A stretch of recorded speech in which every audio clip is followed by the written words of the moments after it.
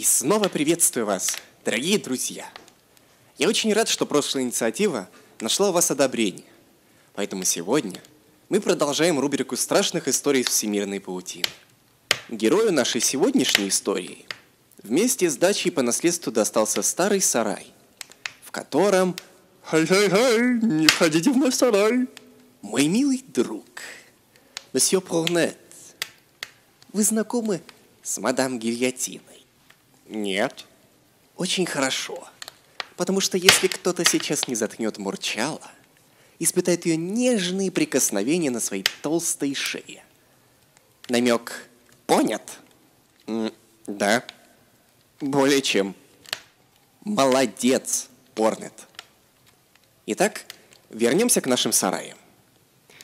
Герой сегодняшней истории получил в наследство вместе с дачей очень неприятное приданное. Дряхлый, разваливающийся на куски сарай.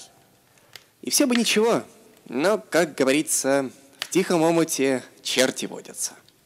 А вот что за черти появились на этой постройке, мы с вами сейчас и узнаем. Итак, друзья мои, устраивайтесь поудобнее и слушайте.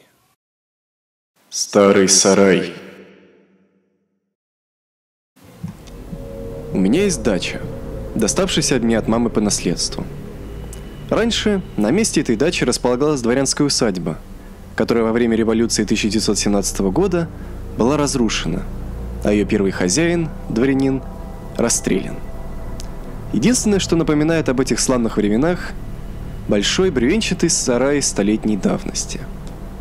Несмотря на возраст, построен он хорошо. Даже сейчас он не особо ветхий. А вот дом, забор пришлось сносить и строить новые. Как говорится, раньше было лучше. Но что-то я отвлекся. Этот сарай имеет три двери, ведущие в три комнаты. Первая дверь ведет в курятник. Когда-то бабушка с дедушкой содержали кур. Там до сих пор остались насесты. Но вместо кур теперь там только старый хлам. Мешки, разные железяки, шифер для крыши и прочее. За второй дверью находилась мастерская деда. Место, где он мог пропасть на целый день, а к вечеру выйти уставшим, но довольным. Там были инструменты, постоянно пахло столярным клеем, лаками и прочим. А еще дедушка там хранил запчасти для своего мотоцикла.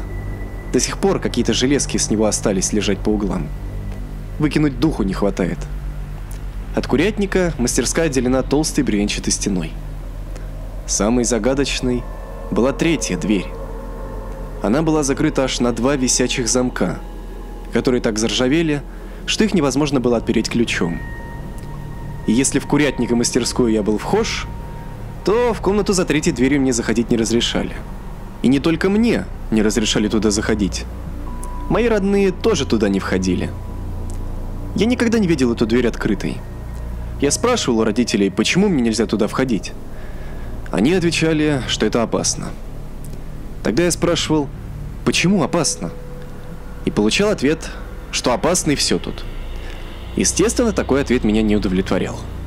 Но расспросить родителей подробнее я не хотел. Бабушка с дедушкой говорили мне то же самое. Нельзя и все. Но мне было позарез интересно, что там находится. Поэтому я иногда заходил в мастерскую деда и подсматривал в щель между бревнами, пытаясь разглядеть, что там есть. Ничего видно не было, но зато было слышно, как кто-то там что-то передвигает, шуршит и грохочет. Мои родные уверяли меня, что это мышь. Но мыши не умеют кашлять, как взрослый мужик. И уж точно не бормочут себе что-то под нос. Там определенно что-то было. Соседские ребятишки говорили мне, что в этой комнате и был застрелен первый владелец усадьбы, и что это его призрак там живет. И мне жутко хотелось проверить, правда это или нет. Но в детстве сделать этого не получилось. Ну вот, дача перешла ко мне по наследству от мамы. Дача в моем распоряжении. Что интересно, с годами мое детское желание проверить, есть ли там призрак, не исчезло. Тогда было мне лет 20. Возраст, когда если уже снесло крышу, так основательно. Взял фонарик, ломик и двинул к сараю. Сбил обох замка ломиком, открыл дверь. В нос сразу же запах неприятный ударил. Нет, не гнили и разложения, а старины. Чувствовалось, что здесь уже давно никого не было. Здесь и вещи-то были все дореволюционные. Самовар какой-то мудреный, антикварная полуразвалившаяся мебель, какие-то старые тряпки, монетки дореволюционные, какие-то ящики и еще куча всего. Вдруг из какого-то угла послышался шорох и покашливание.